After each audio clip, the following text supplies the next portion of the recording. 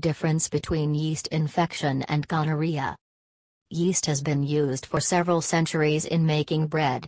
This complicates the situation of us trying to think of it as a disease causing pathogen. Regardless of that, the potential of yeast to become an opportunistic pathogen has been well and truly established.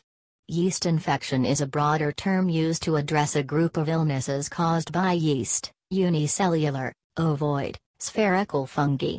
Gonorrhea is a sexually transmitted disease, STD, caused by an intracellular diplococcus named Neisseria gonorrhoeae. The key difference between yeast infection and gonorrhea is that gonorrhea spreads through sexual contacts with infected patients, but the yeast infection does not to spread via that route.